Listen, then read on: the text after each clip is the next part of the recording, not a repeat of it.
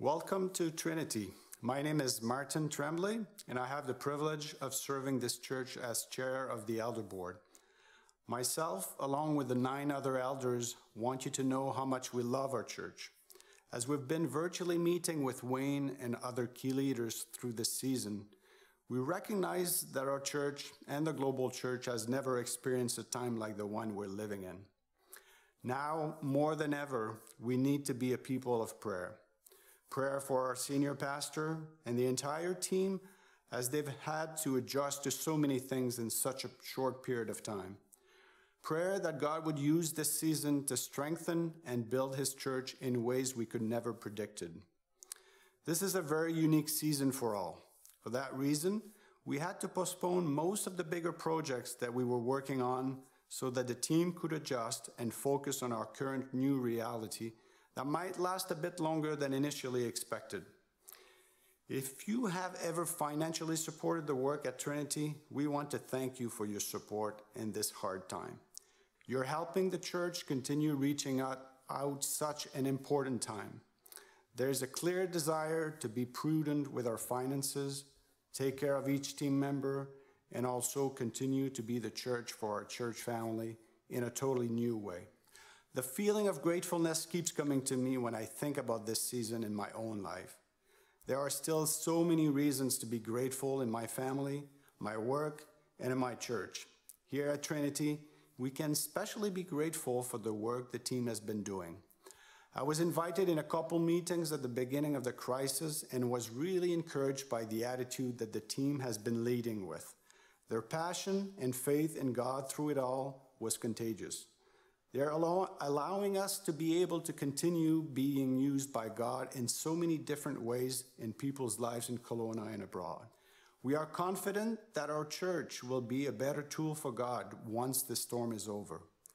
Please don't hesitate to let us know if we can do anything to help you. You can reach the elders at the email elders at trinitykelowna.ca. I'm really humbled to serve as an elder with an amazing group of people that is so passionate for our church. And as we begin our service today, we would like to read a few portions of scripture over you today as an encouragement and blessing. Always be humble and gentle. Be patient with each other, making allowance for each other's faults because of your love. Make every effort to keep yourselves united in spirit, binding yourselves together with peace. For there is one body and one spirit just as you have been called to one glorious hope for the future. There is one Lord, one faith, one baptism, one God and Father over all. For he is over all, in all, and living through all. So let us hold tightly without wavering to the hope we affirm. For God can be trusted to keep his promise. Let us think of ways to motivate one another to acts of love and good works. And let us not neglect our meeting together but encourage one another. For you are to love the Lord your God with all of your heart, with all of your soul, with all your mind, and with all your strength. And love your neighbor as yourself.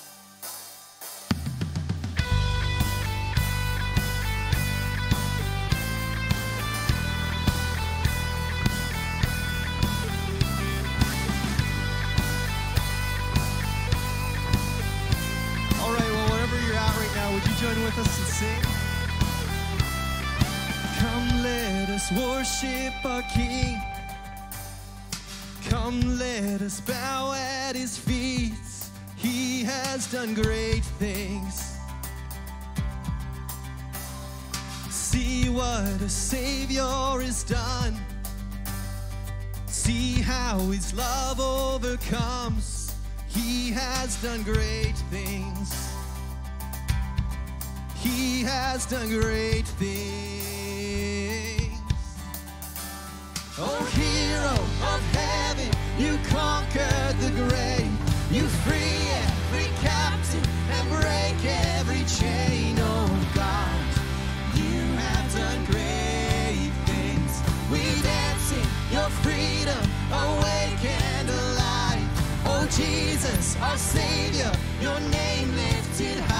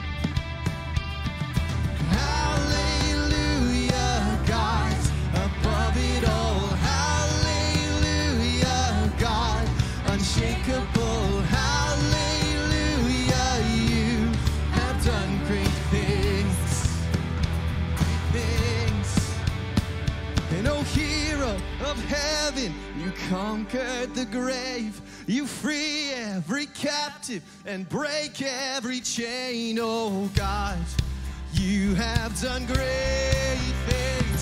We dance in your freedom, awake and alive. Oh Jesus, our Savior, your name lifted high. Oh God, you have done great things. You have done great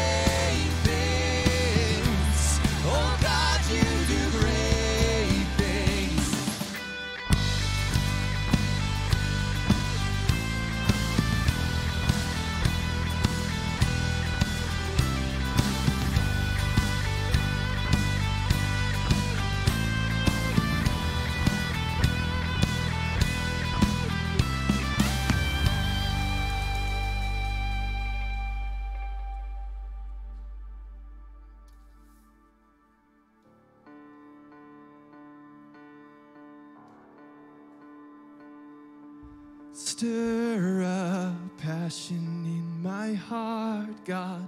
Let it overflow. Let it overflow. Stir up passion in my heart, God. Let it overflow. Let it overflow. Breathe on me. Holy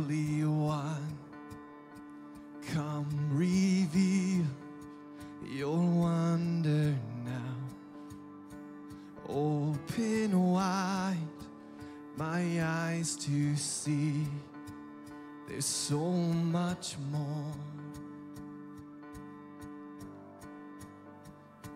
Jesus, you are where it all begins. Your beauty calls me deeper in. Stir up passion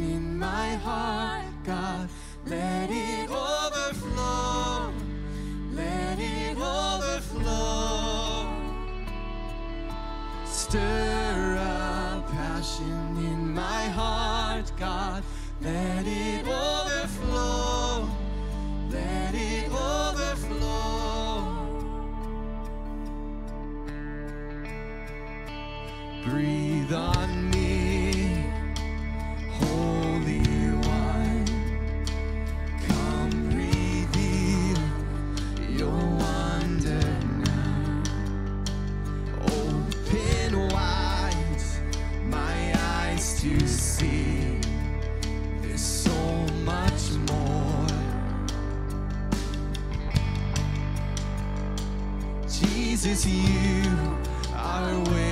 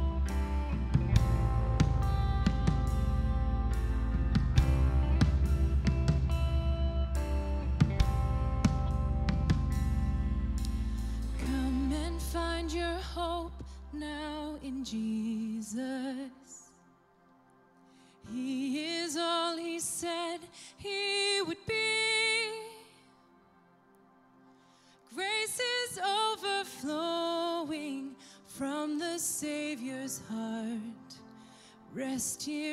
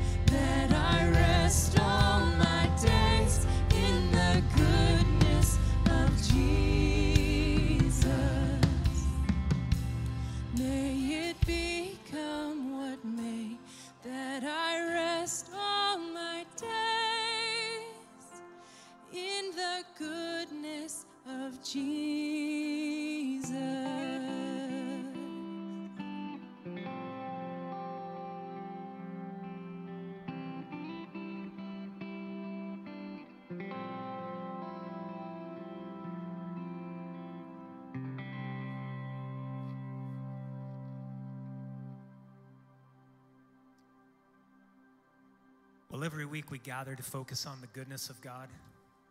But this week we come with heavy hearts in light of the great tragedy in Nova Scotia. Many of us love the Maritimes because of its incredible sense of peace. And to see that peace broken by such a horrendous act of violence truly breaks our heart.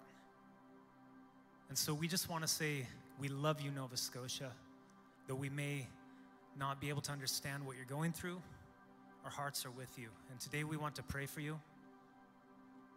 I've prepared a prayer that we're going to pray uh, specifically for this situation. So I invite everybody who's joining us online to just raise your hand as we call it to God. Let's pray together. Dear Lord, will you graciously grant your comfort to those who have been affected by the tragedy in Nova Scotia? May your strength carry those who carry the burden of sorrow. Remember the tears of those who grieve.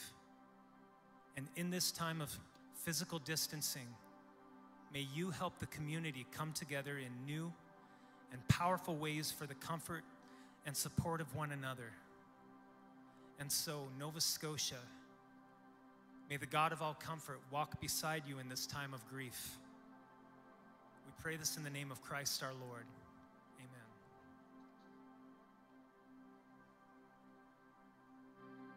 Hey, thanks for that prayer, Corey, and thanks to our entire team for leading us today. No matter where you were at, we hope that through the music or our prayers or entire time together, that you remember the goodness of Jesus. Hey, my name's Dave. Hey, and I'm Scott. Can I just say, I, well, we miss seeing you around here. Yeah, Your for sure. laughter, smiling faces, having a cinnamon bun right here in higher ground. Oh, yeah. And the biggest thing is it usually is accompanied with a buzz of activity. Now, even though you can't be right here with us, believe it or not, that buzz continues just in a completely different way.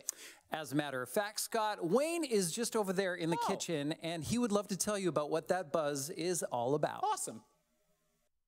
Spend a few moments watching the news or reading the headlines, and there's no doubt many individuals are going through an incredibly difficult season. From lost jobs, facing the challenges of being isolated, to essential health workers needing to live separately from family to ensure they are being safe. But in the middle of all of this, I'm grateful for the ways God's light and hope continue to shine through you and through this place, our commercial kitchen here at Trinity. Our incredible kitchen team, they pivoted in record time. Instead of seeing the obstacles, they saw an opportunity. With great care, they align the preparation and packaging of food with the heightened hygienic standards and provincial distancing protocols.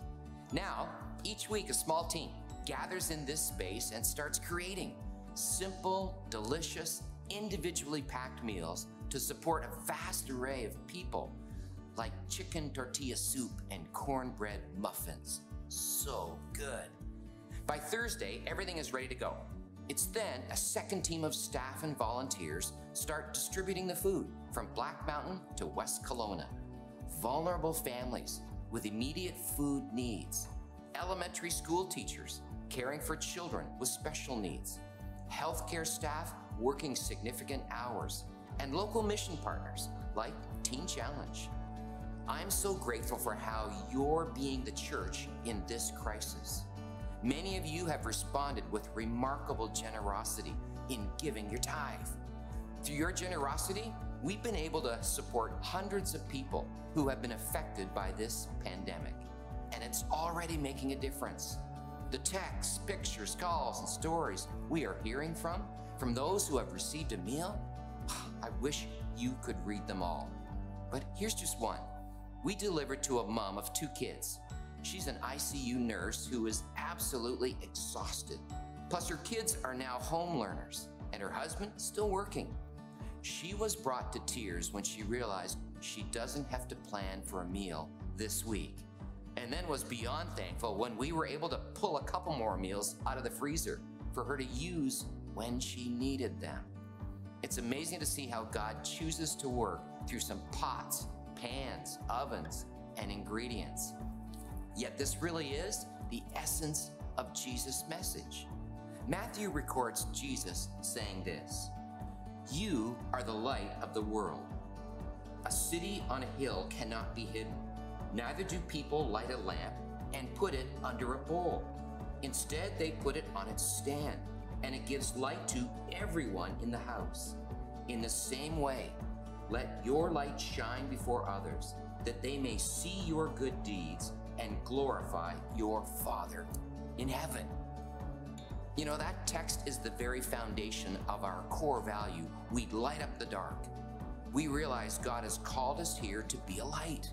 We courageously move into hopelessness, need, and injustice with the redeeming power of Jesus Christ. I'm so thankful for the team here in our kitchen and for our entire church community. Every day I'm hearing stories of the ways you are being a light in our city and beyond. So today, be encouraged. Your big and small acts of kindness are truly food for the soul. So proud of our kitchen, and like Wayne said, can't wait to hear what stories are going to come next. Actually, I've got a story, Dave. All right, shoot. Sweet. Uh, just today, I heard that one of our men's groups reached out to our mayor, and this week are doing a Zoom call to not only pray for our city, but pray for him and his leadership. It's pretty cool. That's super cool.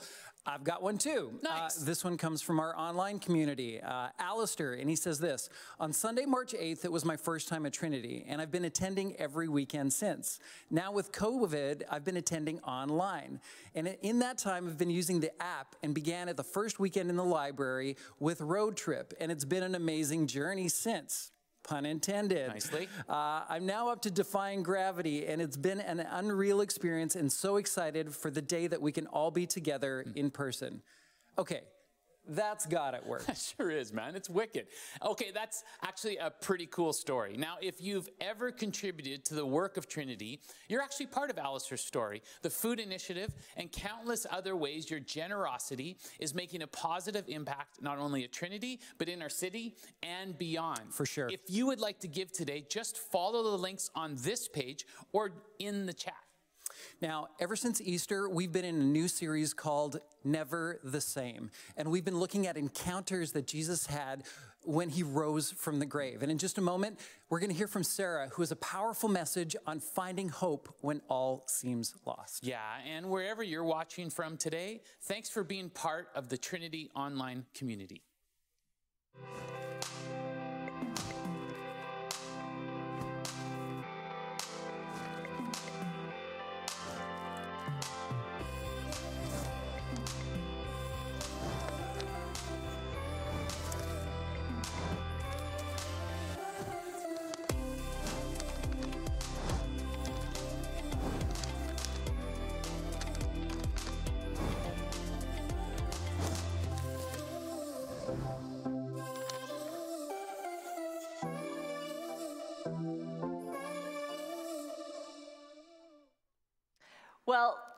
Week we left the disciples in a locked room in the city of Jerusalem.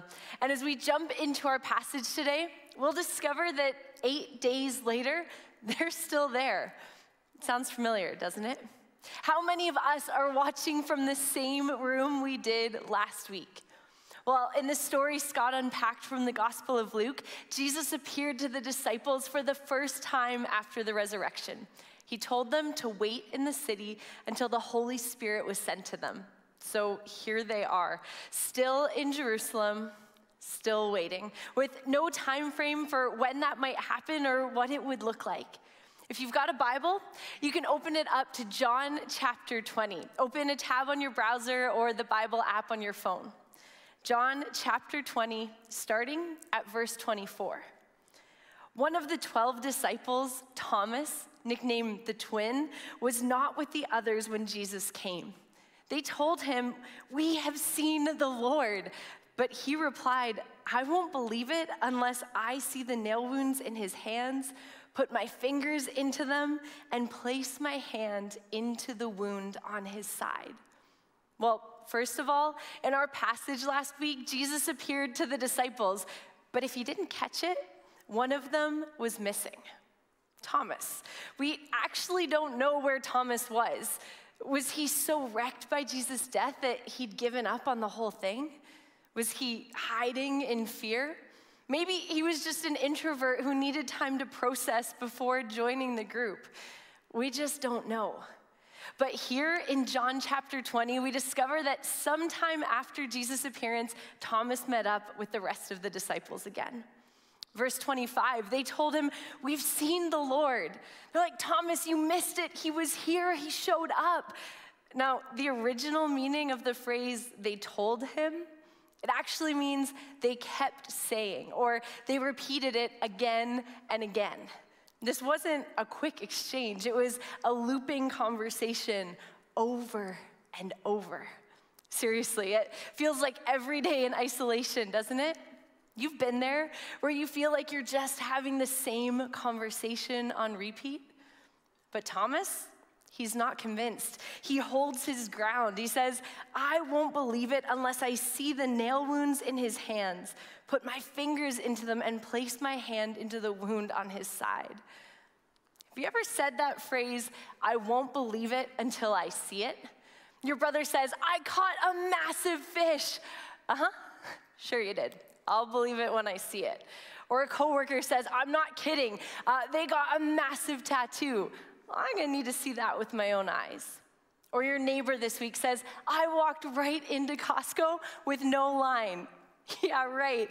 I'll believe it when I see it. But what about when it comes to your faith? I won't believe it unless. I won't believe it unless. What's that for you? Maybe it's, I won't believe that God really sees me or loves me unless this happens. Or I won't believe that God is present in my circumstances unless I see him at work in this specific way. For Thomas, after Jesus' death, it was, I won't believe Jesus is really alive unless I see it for myself. Verse 26. Eight days later, the disciples were together again, and this time, Thomas was with them. The doors were locked. Well, before we keep going, let's lay out a timeline so that we're all clear. Uh, you might need a notebook for this one. See, it's now been 11 days since Jesus was crucified. Eight since the morning when Mary Magdalene found the tomb empty and discovered Jesus alive. And she ran to tell the disciples, but they didn't believe it. Well, that same afternoon, Jesus appeared to two of his followers on the road to Emmaus. Wayne unpacked that story on Easter weekend. And those two, they ran back to Jerusalem to tell the disciples Jesus really is alive. And as they're in the middle of telling the story, Jesus appears in that very room. It's a story Scott shared from just last week. And Jesus tells them to wait until the Holy Spirit is sent. And then, nothing. Over a week later, and they're still waiting. They're still gathered in a locked room, fearful of the Jewish leaders and not sure what exactly they should be expecting. See, I'm imagining that situation, uh, that the tension must be growing. You've got 10 guys locked in a room. Not everyone's on the same page. They don't know how long they're gonna be there. I'm guessing that Peter might be getting a little feisty because he likes to jump into the action, and all there is to do is wait. The attitudes were probably flaring, and patience might have been running thin. And it doesn't say they brought a change of clothes either. I'm just saying. You might be sitting there thinking, that kind of sounds exactly like my house right now. See, we're into week seven of this, and none of us imagined being here. We're working from home, kids, you're doing school online. University students, you've been studying and taking finals. We're in each other's space. And for honest, it seems like nobody brought an extra change of clothes. You don't elbow your neighbor. See, at our house, uh, it's just Andrew and me and our golden retriever, Maverick. And let me tell you, both of us learning to work from home full time, well, it's been, well, hmm See, every day it's like we meet in the break room, formerly known as the kitchen, and you're like, wow, you're still here. Also, I think it's unique in each home depending on the ratio of extroverts to introverts.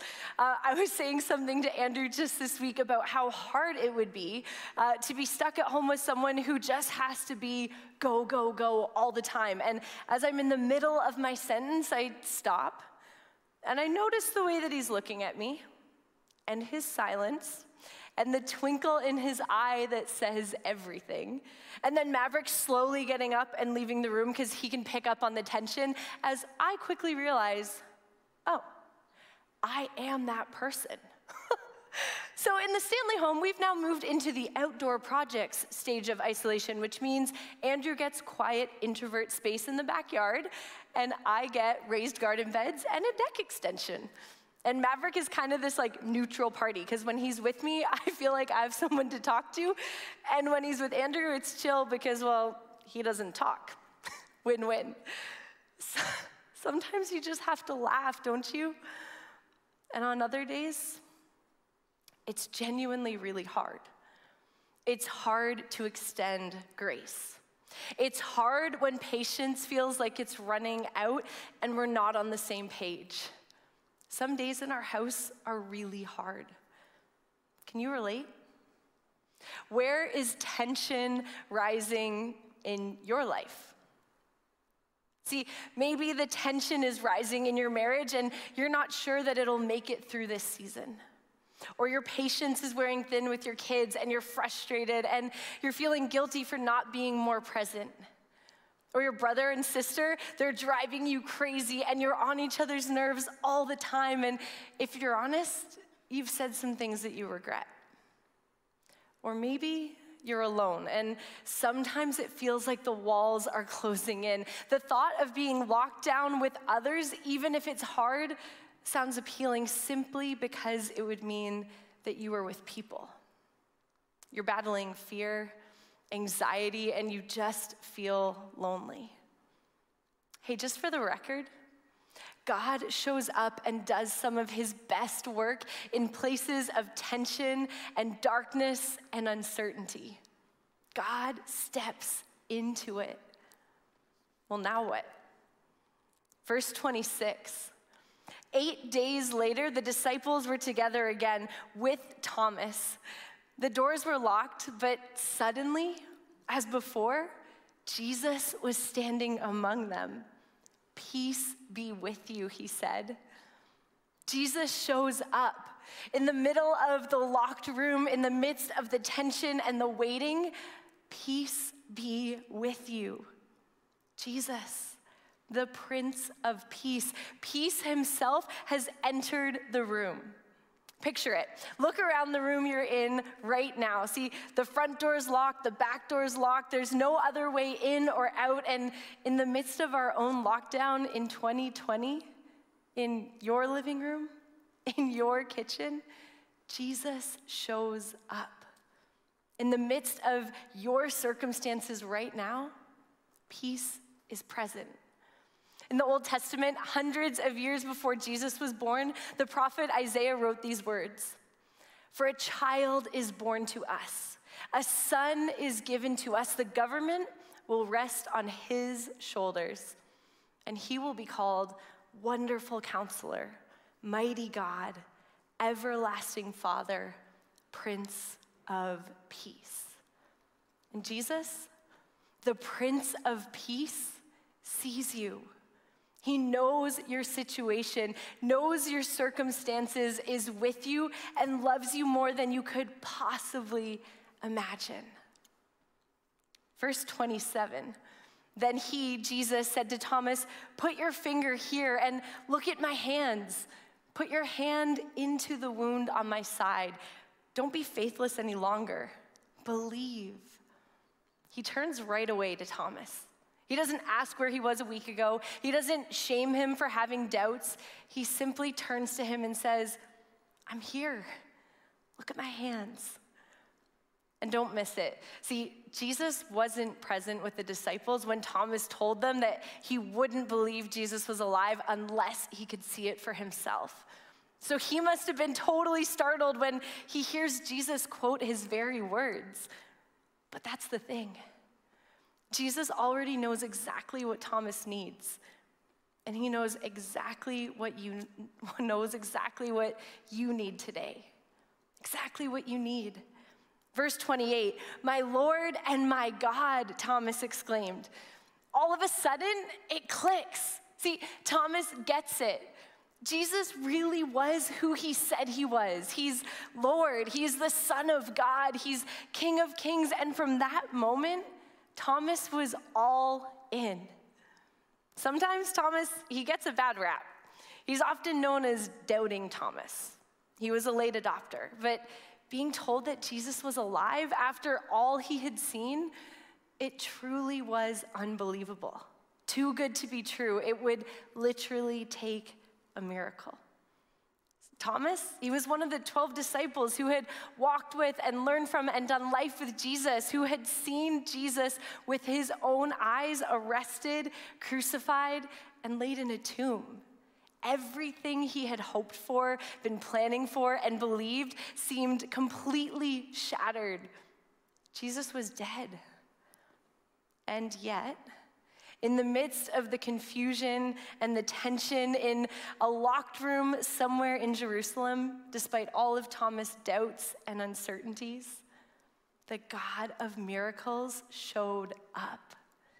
See, we read about Thomas again in Acts chapter 1, gathered with the disciples and others in that same upper room in Jerusalem, praying as the message of Jesus began to spread and the early church was born.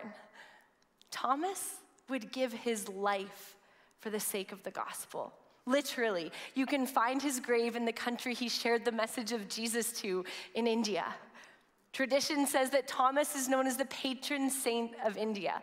And it holds that he may have been the disciple who traveled the farthest spreading the gospel from doubt into distance.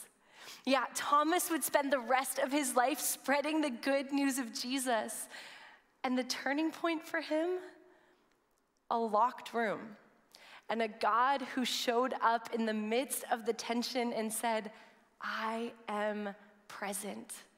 Peace be with you. And when Thomas finally encounters the risen Jesus, his response was, My Lord and my God, you are who you say you are. What's your response? You're in a season of waiting. In some way or another, your world is upside down these days. It is for all of us. What doubts are you wrestling with? What's weighing heavy? What relationships are strained or becoming more and more distant? Where is anxiety building? Where do you need the God of miracles to show up in your life today? Where do you need the God of miracles to show up in your life today? Because He will. In fact, He already has. See, the greatest miracle in Scripture, it isn't a miraculous healing, the parting of the Red Sea, or even a talking donkey. The greatest miracle of all time was that God would send His Son Jesus to earth that He would show us how to live a life that loves God and loves others. They would die on a cross for us and conquer death so that we might have life and have it to the full. The greatest miracle is that in the midst of our circumstances, even when it feels like we're in a locked room or a hopeless situation with no way in and no way out, that Jesus is present.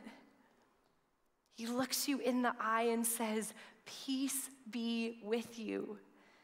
Jesus, the Prince of Peace, says, I'm right here. This is a story of the grace of God chasing Thomas down. That when he missed it the first time, Jesus cycled back again. It's the 99 going after the one. He already knew what Thomas needed, and he knows exactly what you need today grace, patience, forgiveness, love, perspective, hope. Verse 29 Then Jesus told him, You believe because you have seen me. Blessed are those who believe without seeing me. Maybe you're brand new to this whole faith journey. You're exploring what it means to believe in and follow God. What I love about Thomas is how authentically he wrestles with his doubts and his questions, and that Jesus meets him right in the middle of it. He didn't want to believe blindly, he wanted to believe intelligently, and he needed to work it through. And so, if that's you, keep asking and exploring and do it with others. Talk to someone you're watching with or reach out to one of our team in the online chat. We're so excited that you're exploring. For others of us, maybe we've been following Jesus for a while, and yet we can find ourselves in a place where we know deep down in our core that God is present, but we can let our current circumstances get in the way and cloud that. But after Jesus appears to Thomas and shows him his hands and his side, he says to him, Don't be faithless any longer. Believe. Maybe that's for you today. An encouragement and a challenge to lean in boldly to your faith. Or maybe to say for the first time, just like Thomas, My Lord and my God, I, I believe you are who you say you are, and I'm all in. And as we experience that peace, would we share it with others? Would that phrase, my Lord and my God, would it spur us to look outwards, to love our neighbor? What would it look like this week to invite peace into our relationships, our fears, our conversations, our doubts, and our questions? Just like that moment was a turning point for Thomas, would we live our lives passionately, sharing the good news of Jesus and being peacemakers because we know peace is present? Scott said last week that hope is contagious. And that is so true. I've needed to be reminded of that again this week. And peace. Peace is present. There's a song I've had on repeat throughout this whole season, and it says this Let faith arise. In spite of what I see, Lord, I believe, but help my unbelief. I choose to trust you no matter what I feel. Let faith arise. So I've been praying that in spite of what I see, no matter what I feel, that faith would arise in me. That I would be reminded that God sees me, that He already knows what I need, and that the God of miracles is present in my life. And so, would you listen to the words of this song and perhaps allow it to shape a prayer for you as you listen?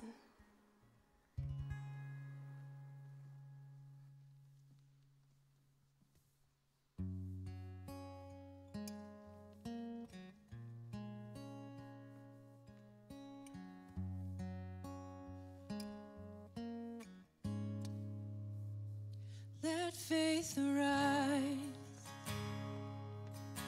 In spite of what I see, Lord, I believe.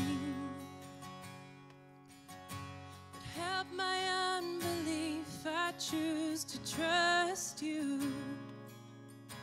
No matter what I feel, let faith arise.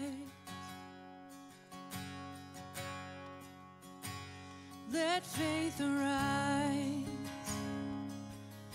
My champion's not dead, he is alive.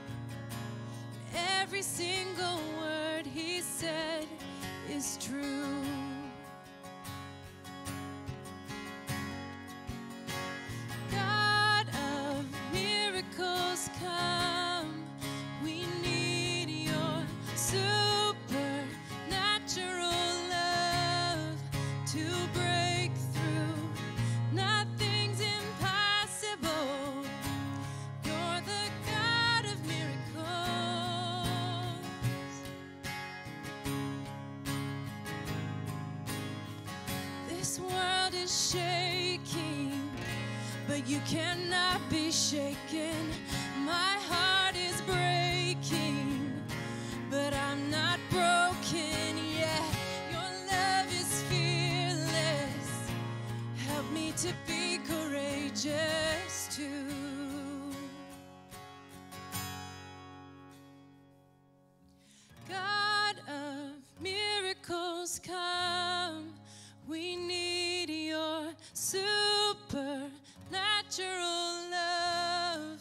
to break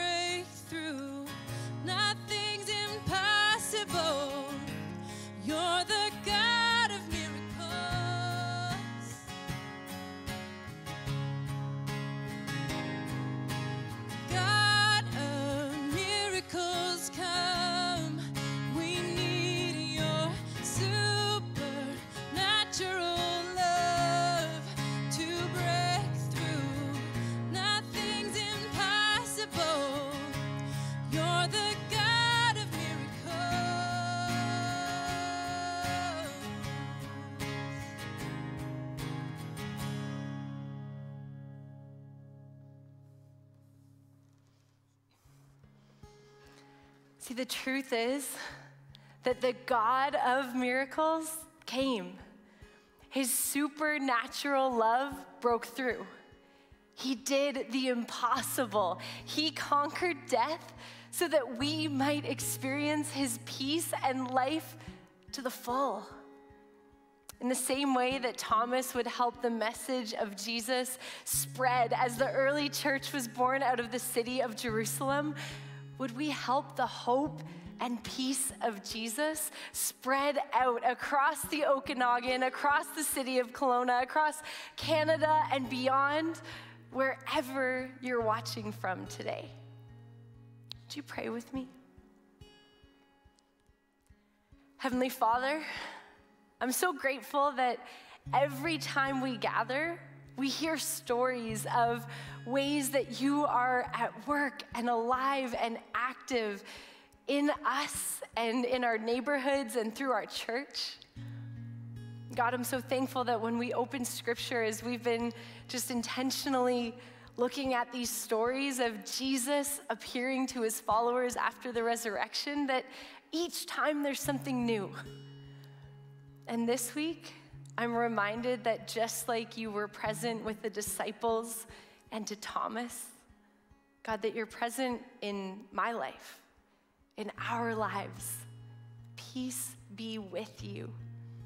And so, God, would we be reminded of that? Would we soak in that? Would we invite that peace to invade our conversations and our thoughts and our interactions? And God, would that spill out into a city and a world that is in such desperate need of you?